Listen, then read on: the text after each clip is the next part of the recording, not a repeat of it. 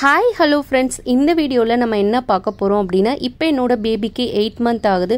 So eight month பேபிக்கு என்னெல்லாம் food கொடுக்குறேன் அவங்களோட ரொட்டீன் என்ன அப்படின்றது தான் பார்க்க போகிறோம் அதே போல் பேபிக்கு ஒரு சிம்பிளான ஃபோட்டோஷூட் வீட்லேயே எப்படி பண்ணலாம் அப்படின்றதும் நான் ஷேர் பண்ணியிருக்கேன். நான் ஆல்ரெடி பேபி ஃபுட் ரெசிபீஸ்லாம் அப்லோட் பண்ணியிருக்கேன். அது இல்லாமல் இன்னைக்கு ஷேர் பண்ணியிருக்க பிரேக்ஃபாஸ்ட் லஞ்ச் அண்ட் டின்னர் மூணு ரெசிபியும் நியூவான ரெசிபி தான் ஷேர் பண்ணியிருக்கேன்.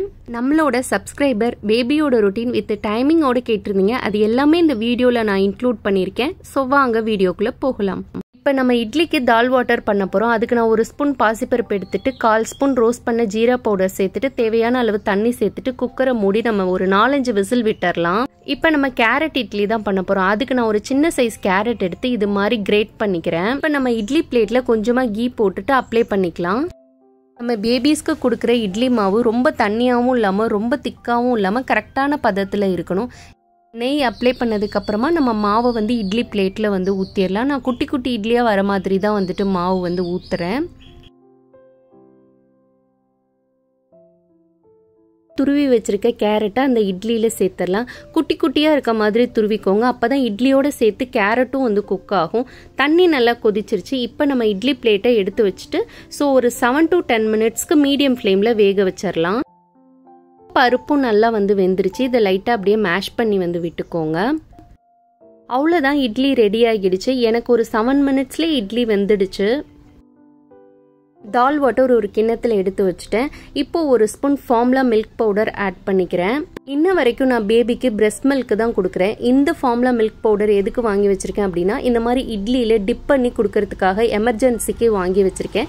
நம்மளால எதுவும் செய்ய முடியல அப்படின்னா இந்த மில்க் பவுடரோட வாட்டர் ஆட் பண்ணிட்டு நான் மிக்ஸ் பண்ணி கொடுத்துருவேன் பேபிக்கு அதே போல் நம்ம ட்ராவல் பண்ணுறப்பையும் அந்த பவுடர் எடுத்துக்கிட்டோம் அப்படின்னா இட்லியில் வந்து கொடுக்கறதுக்கு ஈஸியாக இருக்கும் அண்ட் யூஸ்ஃபுல்லாகவும் இருக்கும். சம்டைம்ஸ் தால் வாட்டரில் டிப் பண்ணி கொடுத்தா சாப்பிட மாட்டா. ஸோ அதனால ஆல்டர்னேட்டுக்கு நான் இந்த மில்க் வாட்டரும் வந்து வச்சுக்கிறேன். இட்லி சூப்பராக சாஃப்டாக வந்து ரெடி ஆயிடுச்சு. ஸோ இப்போ நம்ம பேபிக்கு ஒரு பவுலில் ரெண்டு இட்லி மட்டும் நான் எடுத்து வச்சுக்கிறேன். பிரேக்ஃபாஸ்ட்க்கு dal water milk carrot idli அது கூட வாட்டர் எடுத்து வச்சுருக்கேன்.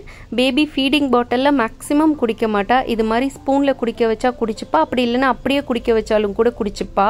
பேபிக்கு ஸ்டொமக் ஃபில் ஆயிடுச்சா. அதை எப்படி கண்டுபிடிக்கிறதுன்னு சொல்லி கேட்டிருந்தீங்க. அதாவது அவங்க வந்து நல்ல பசியில் இருந்தாங்கன்னா ஓரளவுக்கு சாப்பிடுவாங்க. ஸோ சாப்பாடை வேணான்னு சொல்லிட்டு அவங்க இக்னோர் பண்ணும்பொழுது அவங்களுக்கு போதும் அப்படின்றத நம்ம தெரிஞ்சுக்கலாம். இப்போ பேபியை தலைக்கு குளிக்க வைக்கலாம் அப்படின்னு சொல்லிட்டு ஒரு ஸ்பூன் செக்கில் ஆட்டின தேங்காய் எண்ணெய் சேர்த்துக்கிறேன். அதில் ஒரு பத்து போல் அரிசி சேர்த்துட்டு ஒரு பத்து போல் வெந்தயம் சேர்த்துட்டு ஒரு பூண்டை வந்து இடித்து சேர்த்துக்கிறேன். ஸோ இந்த மாதிரி பண்ணும் பொழுது அவங்களுக்கு நீர் கோத்துக்காது அப்படின்னு சொல்லிட்டு அம்மா சொன்னாங்க. ஸோ இது வெது வெதுன்னு ஆனதுக்கப்புறம் கொஞ்சம் கொஞ்சமாக ஆயில் எடுத்து நம்ம பேபிக்கு வந்துட்டு மசாஜ் பண்ணி விடலாம். இப்போ என்னோட பேபி மசாஜ் பண்ணுறோம் அப்படின்னா கொஞ்சம் கூட கோஆப்ரேட்டே பண்ண மாட்டா. அவளுக்கு ஏதோ அவளை இரிட்டேட் பண்ணுறோன்னு நினச்சிட்டு பயங்கரமாக அழுவா. ஸோ என்னால் முடிஞ்ச அளவுக்கு தான் வந்துட்டு வீடியோ கவர் பண்ணி எடுத்திருக்கேன்.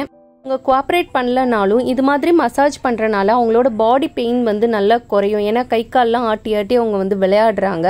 அது மட்டும் இல்லாமல் பிளட் சர்க்குலேஷன் வந்துட்டு நல்லாயிருக்கும் ஸ்டொமக்கில் இது போல் clockwise anti clock wise பண்ணுறனால சூடு இருந்தால் கூட அதெல்லாம் நல்லா வந்து குறையும்.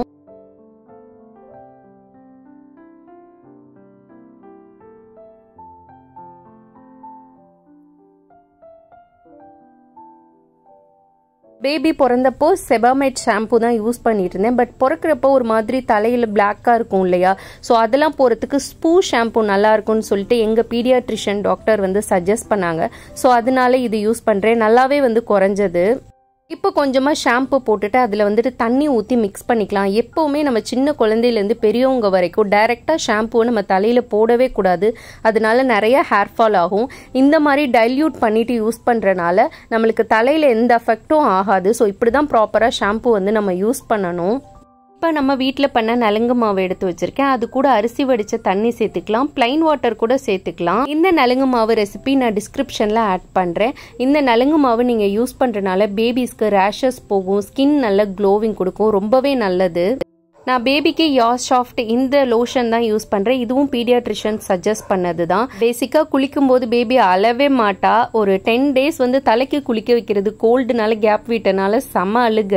அப்புறம் சமாதானப்படுத்திட்டு இது மாதிரி வந்து சாம்பிராணி போட்டோம் அப்படின்னா கோல்டு சுத்தமாக பிடிக்காது. இது காலங்காலமாக வந்து பண்ணிட்டு இருக்கிறது. அம்மா அதெல்லாம் பக்காவாக ரெடி பண்ணி வச்சிருவாங்க. அப்புறம் கொஞ்ச நேரம் பேபி வந்து விளையாண்டுட்டு இருந்தா ஸோ அந்த கேப்பில் வந்துட்டு நம்ம எயிட் மந்த்து ஃபோட்டோ ஷூட் பண்ணோம் அப்படின்றனால நான் கொஞ்சம் அதுக்கெலாம் ரெடி பண்ணிட்டு இருந்தேன். ஸோ இது மாதிரி ஆல்ரெடி இருக்கக்கூடிய ப்ளே மேட்டை வந்துட்டு நான் வந்து போட்டுக்கிட்டேன். பட்டர்ஃப்ளை தீமில் பண்ணலாம் அப்படின்னு சொல்லிட்டு ரெடி பண்ணிகிட்ருக்கேன் இருக்கேன். ஆல்ரெடி இந்த ஒயிட் கிளாத் பற்றி நிறைய வீடியோஸில் சொல்லியிருப்பேன். ஸோ அந்த ஒயிட் கிளாத்தை அந்த மேட் மேலே வந்துட்டு போட்டுக்கிறேன். காஸ்டியூமும் அதுக்கேற்ற மாதிரி எல்லாமே வந்து அவைலபிளாக இருந்ததை வச்சு வீட்லேயே மினிமலாக இந்த எயிட் மந்த் ஃபோட்டோ ஷூட் வந்துட்டு நான் பண்ணேன். அடுத்து இந்த பிளாங்கெட் வந்து போட்டுக்கிறேன். ஸோ இதில் போட்டுட்டு பட்டர்ஃப்ளை மாதிரி நான் அப்படியே வந்து ரெடி பண்ணிட்டேன். அதாவது சென்டர் பார்ட்டிஷனில் இது மாதிரி வந்து சுருக்கு சுருக்கமாக வச்சுட்டு நாலு கார்னர்லேயும் ஷார்ப்பாக இருக்க மாதிரி வச்சுக்கிட்டோம் அப்படின்னா கொஞ்சம் வந்து பார்க்கறதுக்கு பட்டர்ஃப்ளை மாதிரி இருக்கும் அப்படின்னு சொல்லிட்டு. அடுத்து அதுக்கு மேட்ச் ஆகுற மாதிரி ஒரு எல்லோ கலர் ஷால் எடுத்துக்கிட்டேன். பட்டர்ஃப்ளைக்கு இந்த ரெண்டு சைடு ரெண்டு கொம்பு இருக்கும் இல்லையா? அது மாதிரி பண்ணுறதுக்கு ஷாலை இது மாதிரி முறுக்கிட்டு ரெண்டு சைடும் இது மாதிரி வந்து சுழிச்சு விட்டுக்கிட்டேன். அடுத்து அந்த ஷாலை வந்து பிளாங்கெட்டோட அட்டாச் ஆகிற மாதிரி வச்சுக்கிட்டேன். சாக்லேட்ஸ் வச்சு எயிட் அப்படின்னு சொல்லிட்டு வைக்க போகிறோம் இந்த சாக்லேட்ஸ் வந்து புஜ்ஜு அப்ராட்லேருந்து சென்ட் பண்ணியிருந்தான். ஸோ அதை வச்சே அழகாக நான் எயிட்டுன்னு சொல்லிட்டு நான் ரெடி பண்ணிக்கிட்டேன்.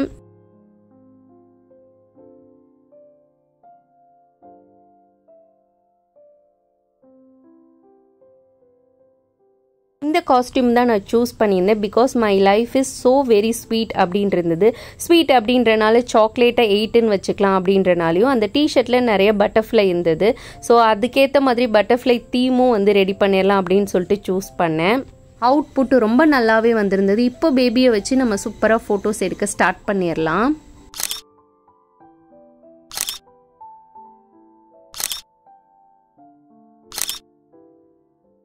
லஞ்சுக்கு இப்போ நம்ம மிக்ஸ்டு தால் ரைஸ் பண்ண போகிறோம் அதுக்கு நான் ஒரு ஸ்பூன் ரைஸ் எடுத்துக்கிறேன். ஹாஃப் ஸ்பூன் மைசூர் தால் எடுத்துக்கிறேன். ஹாஃப் ஸ்பூன் துவரம்பருப்பு எடுத்துக்கிறேன். ஒரு ஸ்பூன் பாசிப்பருப்பு எடுத்திருக்கேன். இதை ஒரு ஹாஃப் அன் ஹவருக்கு மூணு தடவை கழுவிட்டு ஊற வச்சுக்கலாம். கூட ஒரு சின்ன உருளைக்கிழங்கு சேர்க்க போகிறேன் அதை நம்ம தோலை வந்துட்டு எடுத்துடலாம். எடுத்துட்டு ஒரு பவுலில் நம்ம ஊற வச்ச ரைஸ் தால் எல்லாத்தையும் சேர்த்துடலாம். அது கூட ஒரு ஸ்லைஸ் தக்காளி ஒரு உருளைக்கிழங்கு கட் பண்ணி வச்சது ஒரு பூண்டு ரெண்டு வெங்காயம் கட் பண்ணி வச்சதை சேர்த்துக்கலாம். சேர்த்துட்டு ஒரு ரெண்டரை கிளாஸ் அளவுக்கு தண்ணி சேர்த்துக்கலாம். ஆல்ரெடி ஒரு ஹாஃப் கிளாஸ் தண்ணி இருக்குது ஸோ டோட்டலாக மூணு கிளாஸ் சேர்த்தோம் அப்படின்னா கரெக்டாக இருக்கும். அடுத்து ஒரு பிஞ்ச் அளவுக்கு மஞ்சத்தூள் ஒரு பத்து போல சீரகம். இது எல்லாத்தையும் சேர்த்துட்டு நம்ம மீடியம் ஃப்ளேமில் வச்சுட்டு நல்லா வந்து கொலைய வேக வச்சிடலாம் அடிக்கடி கிண்டி விட்டு செக் பண்ணி பார்த்துக்கிட்டோம் அப்படின்னா அடிப்பிடிக்காமல் இருக்கும். ஓரளவுக்கு வெந்துடுச்சு பட் பேபிஸ்க்கு நல்ல கொலைய வேகணும். அது வேகிற கேப்பில் இப்போ ஒரு நாலஞ்சு துண்டு காலிஃப்ளவர் எடுத்திருக்கேன். அதை நம்ம பாயில் பண்ணி எடுத்துக்கலாம். ஸோ அது பாயில் பண்ணதுக்கப்புறமா ரைஸும் நல்லா வந்து கொலைய வெந்துடுச்சு. நம்ம இறக்கி வச்சிடலாம். பட் இன்னும் கொஞ்சம் தண்ணி இழுத்துச்சு அப்படின்னா நம்ம கடைஞ்சி கொடுக்கறதுக்கு வந்து ஈஸியாக இருக்கும். ஸோ இந்த அளவு வந்து கரெக்டாக இருக்கும். மேஷர் வச்சு நல்லா கடைஞ்சி எடுத்துக்கலாம். இதில் மூங் தால் தூர் தால் மைசூர் தால் ஸோ இது எல்லாமே ஆட் பண்ணியிருக்கோம். இதே சிக்ஸ் மந்த் ப்ளஸ் இருக்க பேபிக்கு வந்துட்டு நீங்கள் வெறும் மூந்தால் தால் மட்டும் போடுங்க. இதே எயிட் மந்த் ப்ளஸ் இருக்க பேபிக்கு இந்த மூணு பருப்புமே நம்ம வந்து சேர்த்துக்கலாம். ஸோ இப்போ சாதத்தை நல்லா கடைஞ்சிட்டு ஒரு பவுலில் வந்து நம்ம டிரான்ஸ்ஃபர் பண்ணிக்கலாம். இது கூட ஒரு ஹாஃப் ஸ்பூன் நெய் சூடு பண்ணி சேர்த்துக்கலாம். ஒரு கால் ஸ்பூன் அளவுக்கு ரோஸ்ட் பண்ண ஜீரா பவுடர் சேர்த்துக்கலாம். ஆல்ரெடி நம்ம வந்து முழு ஜீராவாக சேர்த்துருக்கோம். பட் இருந்தாலும் இன்னும் கொஞ்சம் ஜீரா சேர்த்துக்கலாம். நல்லது தான் நார்மலாகவே பருப்பில் ப்ரோட்டீன் நிறையா இருக்கும். இதில் நம்ம மூணு பருப்பு சேர்த்துருக்கனால ஹை ப்ரோட்டீன் வந்து இந்த தால் ரைஸில் இருக்கும். அது கூட vitamin A D E K இருக்குது நிறைய ஃபைபர் கண்டென்ட்டும் இருக்குது பேபிஸ்க்கு கொடுக்குறனால ரொம்ப ரொம்ப உங்களுக்கு வந்துட்டு சத்து. இப்போ காலிஃப்ளவரும் நல்லா வந்துட்டு பாயில் ஆயிடுச்சு. ஸோ இதை வந்துட்டு ஒரு பவுலில் வந்து எடுத்து வச்சிடலாம். ஸ்டீம் பண்ணி கொடுக்கறது ரொம்ப நல்லது. பட் நான் இது ஃபஸ்ட் டைம் கொடுக்குறனால நல்லா மசிஞ்சு வேகட்டும் அப்படின்றனால நான் பாயில் பண்ணி வந்து கொடுக்குறேன். அவ்வளோதான் பேபியோட மீல் பிளேட்டு ரெடி ஆயிடுச்சு. தால் ரைஸ் எடுத்து வச்சுருக்கேன். அது கூட பாயில் பண்ண காலிஃப்ளவர் எடுத்து வச்சுருக்கேன். ஒரு ஸ்பூன் கேர்டு எடுத்து வச்சுருக்கேன். இப்போ வெயில்னால டெய்லி நான் ஒரு ஸ்பூன் கேர்டு கொடுக்குறேன். ஒரு சில சப்ஸ்கிரைபர் சொல்லியிருந்தீங்க பேபி வெயிட் கெய்னிங் ரொம்ப கம்மியாக இருக்குது அப்படின்னு சொல்லிட்டு. ஸோ இந்த மாதிரி எல்லாமே மிக்ஸ்டாக வந்துட்டு கொடுங்க வெஜ்ஜஸ் ப்ரோட்டீன் அது கூட கேர்டு கால்சியம் இருக்குது ஸோ இந்த மாதிரி கொடுக்கும் பொழுது அவங்களுக்கு எல்லா விதமான வந்து சத்தும் ஒரு நாளைக்கு வந்துட்டு அவங்களுக்கு கிடைச்சிடும். பேபிஸ் என்ன விரும்பி சாப்பிட்றாங்கன்னு பாருங்கள் அதையே ரிப்பீட்டடாக கொடுங்க. அடுத்து சைடில் ஆப்ஷனுக்கு இன்னொரு ஃபுட்டும் வந்து வச்சுக்கோங்க. ஸோ கொஞ்சம் கொஞ்சம் அதுவும் கொடுங்க. ஃபோர்ஸ் பண்ணி கொடுக்காதீங்க. அப்புறம் அவங்க கடைசி வரைக்குமே சாப்பாடு பிடிக்காத மாதிரியே வந்துட்டு ஆயிடும். அதே போல் வெஜ்ஜஸும் கொடுத்து பழகுங்க. அப்போ தான் சின்ன வயசுலேருந்து பெரிய வயசு வரைக்குமே ஒரு சில காய்கள்லாம் சாப்பிடுவாங்க. இப்போ என்னோட பேபியுமே காலிஃப்ளவர் வைக்கும்போது அவளுக்கு பிடிக்கல பட் கேர்டோட மிக்ஸ் பண்ணி கொடுக்கும்போது சாப்பிட்டுக்கிட்டா. நம்ம இப்படித்தான் கொஞ்சம் கொஞ்சமாக அவங்களுக்கு வந்துட்டு பழக்கணும் டின்னர் பண்ணுறதுக்கு ரைஸ் போரேஜ் பண்ண போகிறேன் அதுக்கு நான் ஒரு அயன் கடாயில் ஒரு பெரிய கிளாஸ் அளவுக்கு ரைஸ் எடுத்துக்கிறேன். இந்த கிளாஸில் தான் நான் மெஷர்மெண்ட் பண்ணி எடுத்திருக்கேன். அரிசியை நம்ம நல்லா பொன்னீரமாக வறுத்து எடுத்துக்கணும். இதை வந்து நம்ம நைட்டில் கொடுக்குறனால அவங்களுக்கு நல்லா வந்து ஈஸியாக டைஜஷன் ஆகும். அதே போல் பேபி எல்லாத்துக்குமே காமனாக இந்த ரைஸ் போரேஜ் ரொம்ப வந்துட்டு பிடிக்கும். இது போல் கிண்டி விட்டுட்டே இருக்கணும். இல்லைன்னா ஒரு இடத்துல மட்டும் தீஞ்சிரும். ஸோ இது மாதிரி நல்லா வந்து வறுபட்டதுக்கு அப்புறமா நம்ம ஒரு பிளேட்டில் போட்டு நல்லா வந்து ஆற வச்சிடலாம்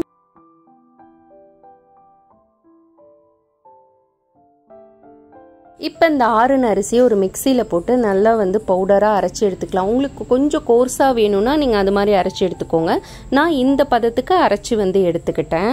அடுத்து இந்த அரிசி மாவை நம்ம ஒரு ஏர்டைட் கண்டெய்னரில் போட்டு ஸ்டோர் பண்ணி வச்சுக்கலாம். இப்போ வந்து இது பண்ணுறதுக்கு ஒரு கிளாஸ் அளவுக்கு தண்ணியை ஊற்றிட்டு நல்லா வந்து கொதிக்க வச்சிடலாம் கொதிச்ச தண்ணியில் ஒரு சின்ன கரண்டி அளவுக்கு அரிசி மாவை போட்டுடலாம் கைவிடாமல் கிண்டிகிட்டே இருக்கணும். அப்போ தான் லம்ப்ஸ் எதுவும் ஃபார்ம் ஆகாமல் இருக்கும்.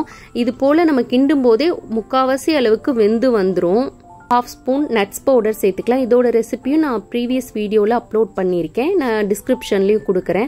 நமக்கு தண்ணி வேணும் அப்படின்னா கொதிச்ச தண்ணியை கொஞ்சமாக ஊற்றி நம்ம கன்சிஸ்டன்சி அட்ஜஸ்ட் பண்ணிக்கலாம். ரைஸ் போரேஜில் ஒரு ஸ்பூன் ஃபார்ம்லா மில்க் பவுடர் சேர்த்துக்கிறேன்.